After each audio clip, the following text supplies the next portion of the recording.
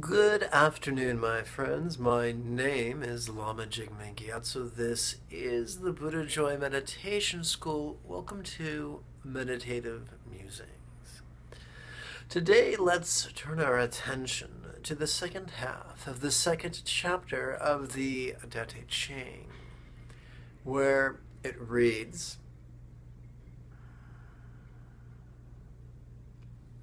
When speaking of the sage, things arise and she lets them come. Things disappear and she lets them go. In my last class, a very good hearted student felt a bit perplexed by that. She reported having trouble wrapping her mind around that. It turns out that good hearted student, as a child, played with played in the surf at the beach.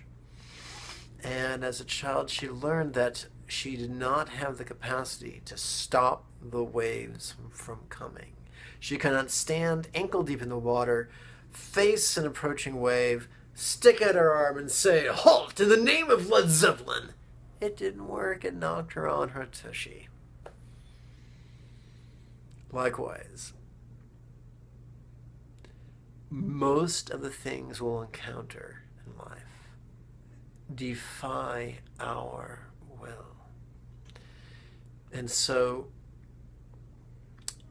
in the system of philosophy known as the Tao Te Ching, we're taught to, when things are coming, to let them come. That's why an experienced body surfer, when wading through the surf, when a wave approaches, rather than trying to stop the wave, they just dive under that bad boy. Likewise, this it, we also read in that same passage, things disappear and she lets them go.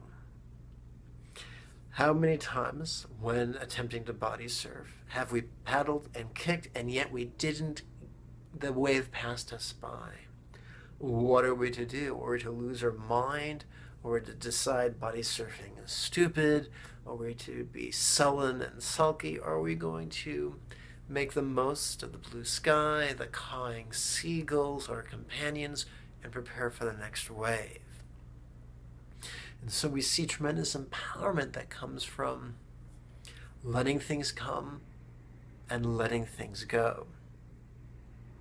And that reminds me an awful lot about dating because each of us have experienced the exquisite agony of the self fulfilling prophecy. You know, the one that says, How can I keep from losing him or her or it or whatever we're dating?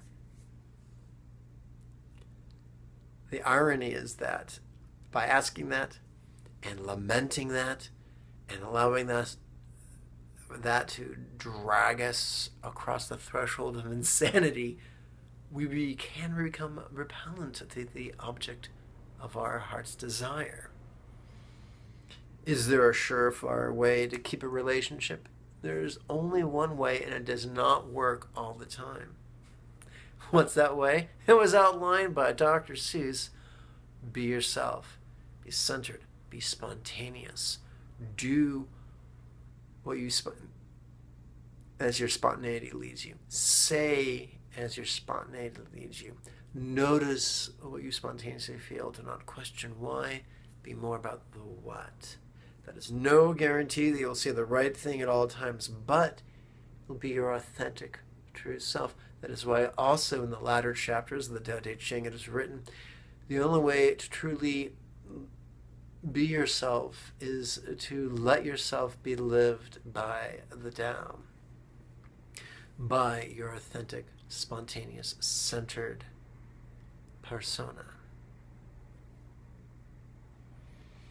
Yep, that's no guarantee that the wrong ones will stay, but it is a guarantee that the right ones will see you and be attracted to you for as long as they are your Everyone's evolving, everyone's changing, and sometimes for the better, sometimes for the worse. But as long as someone is your optimal partner, and as long as you are centered and spontaneously authentic, they'll see you and be attracted to you. Kind of like when you are eating savory food, your dogs sniff you out. They're like, oh, you're eating something good, I can tell. you can't fool your doggy. And you can't fool your twin flame. Now, it's true. There are many people of, of, of each gender who are not geared, who do not have the mind to um, give the benefit of the doubt, to see us for who we truly are. They do not have the heart to give the benefit of the doubt. They their self-esteem seems to be predicated upon denying us the benefit of doubt, seeing us in the worst possible light. Helpful hint: that person, not your twin flame.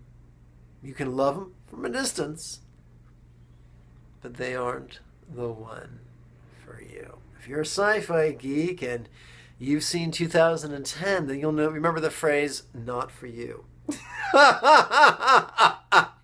if not, a little thing called Netflix. I think you'll like it. Anyway, may you and yours be healthy and happy. And before I go, I want to remind you that we've got a special mailing list. I invite you to get on it. That way, you'll always get all the free videos, all the free essays, and all the important announcements that you require from the Buddha Joy Meditation School. Bye bye now.